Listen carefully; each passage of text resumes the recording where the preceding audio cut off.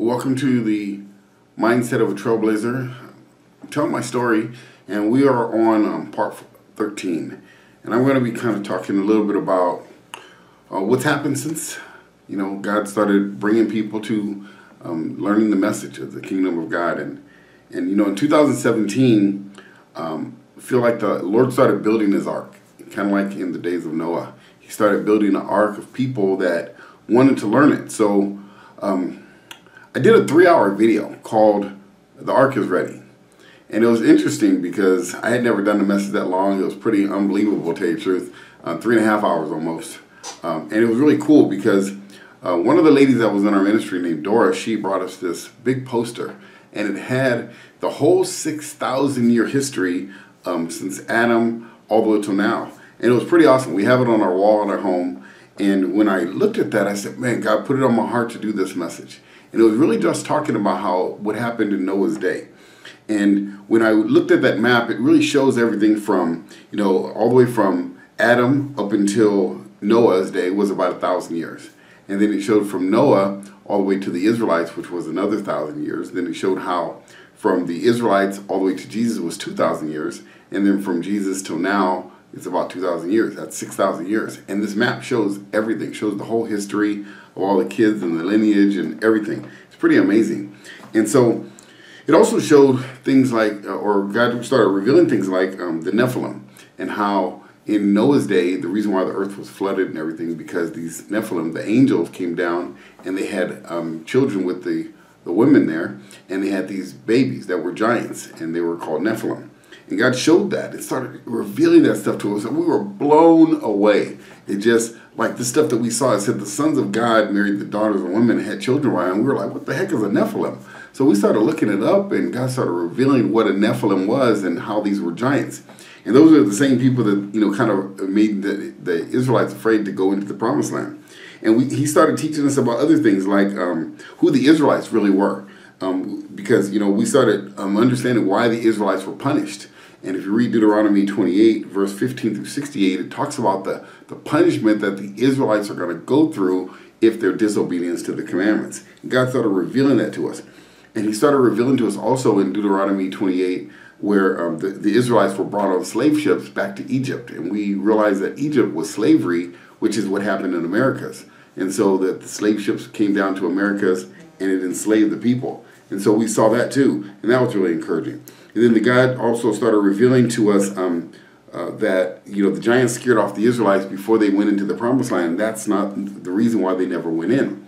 And he also started revealing to us things like how the earth actually looks and how it's not like a globe spinning in the middle of space. He showed us how the, the earth is uh, more of a, a flat kind of um, environment and how there's a firmament above it and, and he showed us how the water separated the water like it talks about in scripture. And he also talked about how we never even went to the moon which was amazing. You look on youtube you can see all these videos about how nasa's really like a movie studio. Never they never went to the moon. That was a, a lie a big lie to kind of explain away god. And god started revealing all this stuff to us and it was unbelievable the stuff he started showing to us. And he started showing to us things like um, how the, the moon is a light, like it says in Genesis um, 2, um, Genesis 1, it actually says it's a light, 114. And, you know, God made two great lights, the lesser light to govern the night and the greater light to govern the day, which is the sun and moon. And then he started teaching us all kinds of things like, um, all, you know, just just pretty much unbelievable stuff. I you don't want to go into all the details, but he showed us how even the mountains and how the trees were giant and uh, you know that they were cut down. So, like some of the mountains that we think are mountains, they were actually trees, and he started showing us that, and you know it was just amazing just to start to see how big God really, really was, and so it started to increase my faith. It started to increase my faith that I can do this, and and started started teaching this message, and you know the body of the believers started to come, and more people started um, believing the message and it was cool because my daughter Jaden, she um, started walking dog, my dog, our dog that we had just got her in the neighborhood, and one of our neighbors came over, Lila and Philip, and Lila was baptized in our pool, and then Philip was a great man of God. I mean, he already had been baptized and he loved the Lord, and so he started fellowship with us and everything, and it was so encouraging because the body of Christ started to grow a little bit. And then we met a lady named Deborah. You know, she um, started worshiping with us and everything as well. And we met Deborah online, and she started, um, her and her son Marcus, they started fellowshipping with us also. And that was really encouraging. And so the Lord started, you know, providing this message, and we started to get a little group here.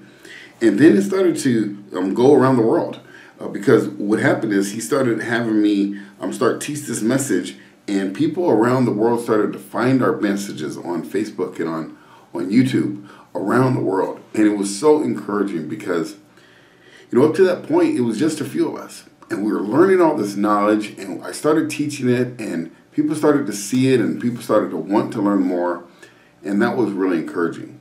But it still hadn't spread yet, really. You know, I was sending out emails to pastors in the United States almost every single month. I was sending them out. I had this database of like 10 to 20,000 pastors. And I'd send them an email, and people would send back saying, don't call me or don't email me anymore. And I sent out text messages and people didn't want to talk about it. Nobody in the United States wanted to hear this message. And so that made it really sad. But, you know, our little ministry had grown to like maybe 10 people or so. And it was pretty cool because it gave me someone to talk to, you know, when I was um, teaching the messages. But, you know, God had a plan. God had a much bigger plan than that. And so, you know, in the next video, I'll share with you the bigger plan of what God started to do from this point. Because I'm gonna tell you right now, God had a major plan with you know what we're doing, and so you know I'll share with you on the next video. So you know, thank you again for watching and and just you know tuning in with us. You know, just ring the bell down there and you know subscribe because you know every single time I, I get another message, you'll you'll get access to that message and plus our Sabbath messages as well.